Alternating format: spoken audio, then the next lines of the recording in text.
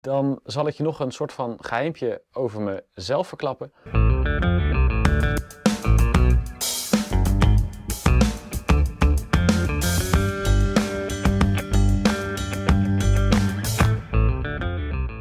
Voor degenen die mijn video's vaker kijken, is dit inmiddels een bekende plek. Ik zit weer lekker in mijn werkkamer. Het is inmiddels bijna tien uur s avonds op een eh, zaterdagavond.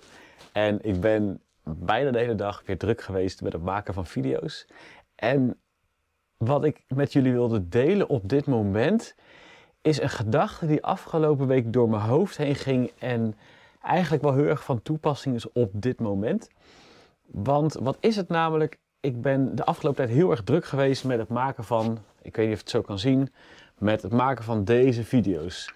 Dat zijn wat video's in een soort van nieuwe stijl. Zien er allemaal net wat chiquer uit. En nou, stiekem ben ik eigenlijk best wel trots op hoe het eruit is komen te zien. En nu deze die nu de, daar zo aan het uploaden is, is ook weer een video waar ik, ja oké, oprecht echt best wel trots op ben.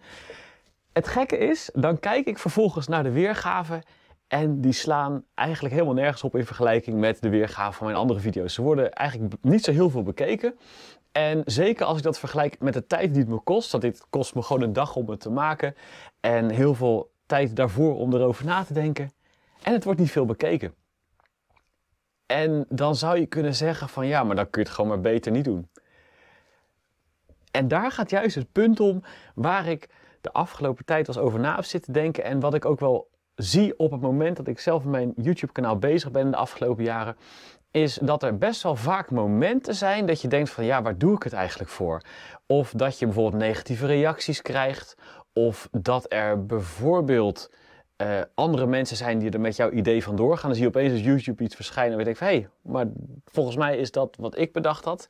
En zo zijn er heel vaak momenten op dat je een soort van even tegengehouden wordt.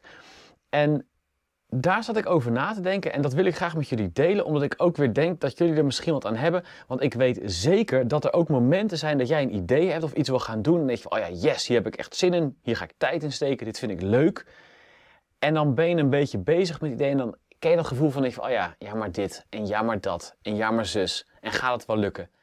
En dan ben je heel snel geneigd om te zeggen, oké, ik stop ermee. En dat is heel menselijk, dat is heel normaal. Maar als je echt iets superleuk vindt, dan moet je die gedachten aan de kant zetten en je moet het gewoon gaan doen. En dan moet je natuurlijk wel nog steeds een beetje redelijk blijven nadenken. Als er echt bezwaren zijn of als er echt dingen zijn waar je even kritisch over na moet denken, dan moet je dat ook zeker doen. Maar op het moment dat je iets echt leuk vindt, dan moet je het gewoon doen. Deze video's die ik maak, dat vind ik gewoon leuk. Ik zit hier op mijn zaterdagavond dit te maken. Het slaat helemaal nergens op. Maar ik heb er gewoon plezier in, dus ik doe het. Het kan me helemaal niet schelen uiteindelijk. Nou ja, dat is ook weer niet helemaal waar, maar het kan me heel weinig schelen. Nee, ook niet waar. Ik hoop dat heel veel mensen het leuk vinden, maar bij het maken nu kan het niet zoveel schelen wat mensen van vinden. Maar eigenlijk hoop ik stiekem wel uiteindelijk dat mensen het wel heel leuk vinden. Maar dat, ja, maakt uiteindelijk op dit moment niet zoveel uit.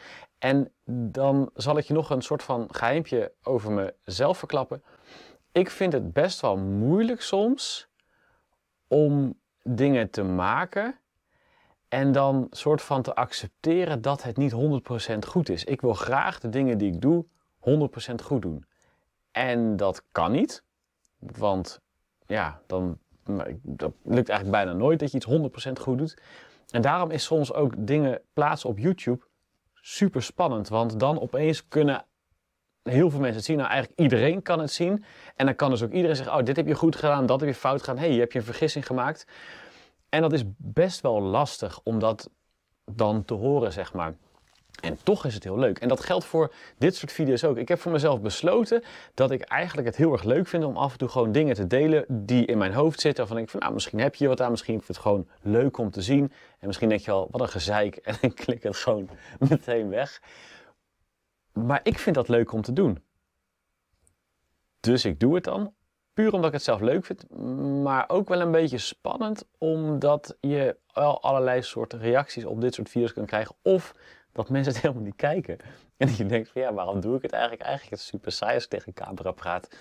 Nou ja, goed. Een hele hoop gedachten die er allemaal voor kunnen zorgen dat je misschien iets niet doet dat je wel heel erg leuk vindt. En ik wil je dat gewoon meegeven. Zorg er alsjeblieft voor dat je gewoon dingen doet als je het ook leuk vindt om het te doen. Er zijn superveel mensen in deze wereld die nu opeens allemaal mening hebben over dingen die je doet. Of die super negatief zijn over dingen. Laat die mensen alsjeblieft. Doe wat je leuk vindt. Want uiteindelijk is dat waar het wel een beetje om draait. En met deze wijze les op deze zaterdagavond kijk ik nu nog naar 88%. Dus hij is bijna klaar, dan upload ik het. En dan wens ik je nog een heel fijn weekend. En voor iedereen die net vakantie heeft gehad, heel veel succes met de nieuwe week. En voor iedereen die net begonnen is met de vakantie, ik geloof, regio Noord geloof ik, die nu nog vakantie gaat hebben. Heel veel plezier en geniet ervan. Tot de volgende.